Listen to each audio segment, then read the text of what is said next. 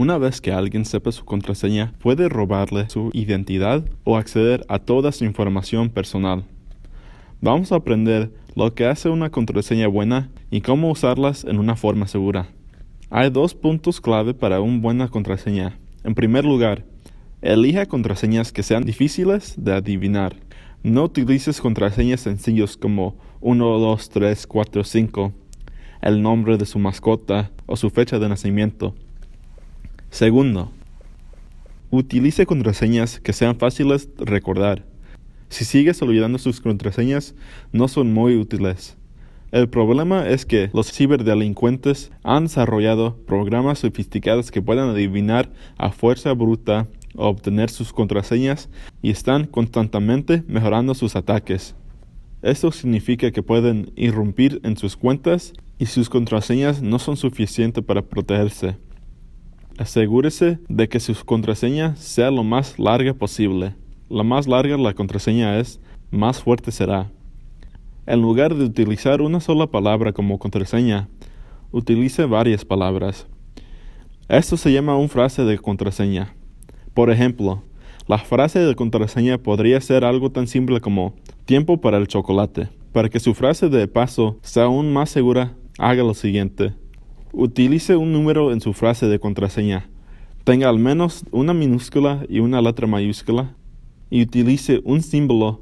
Tomemos nuestra frase de contraseña y para que sea aún más segura, hay que sustituir algunas de las letras con números y símbolos como acabamos de discutir. En primer lugar, observe cómo al menos una de las palabras comienzan con una letra mayúscula.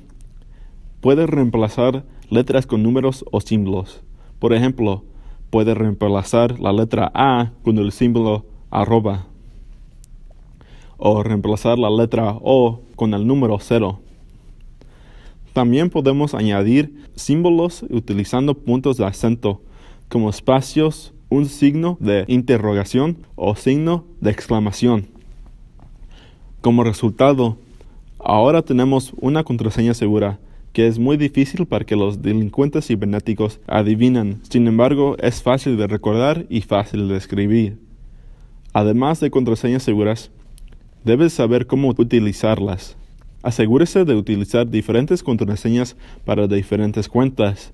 Por ejemplo, nunca utilice las contraseñas de su trabajo o de cuenta bancaria para sus cuentas personales, tales como Facebook, YouTube o Twitter. De esta manera, si una de sus contraseñas es hackeada, las otras cuentas siguen siendo seguras.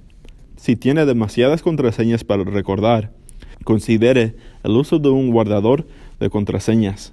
Se trata de un programa especial que corre en su computadora y que almacena de forma segura todas sus contraseñas.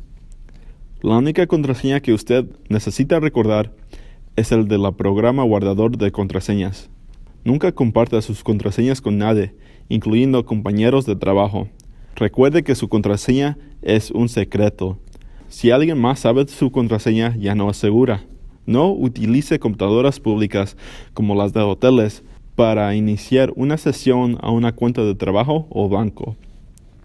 Cualquier persona puede utilizar estos equipos y pueden ser infectados con códigos maliciosos que capturan todas las pulsaciones del teclado.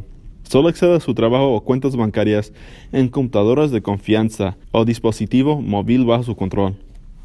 Si comparte accidentalmente su contraseña con otra persona o cree que su contraseña puede haber sido comprometida, o robada, asegúrese de cambiarla inmediatamente. Tenga cuidado de sitios web que lo obliguen a responder preguntas personales. Estas preguntas se utilizan si olvida su contraseña y necesita restablecerla. El problema es que las respuestas a estas preguntas a menudo se pueden encontrar en el Internet o incluso su página de Facebook. Asegúrese de que si usted contesta preguntas personales, esté utilizando solo la información que no se conoce públicamente. Muchas cuentas en línea ofrecen algo llamado autenticación de dos factores o la verificación de dos pasos.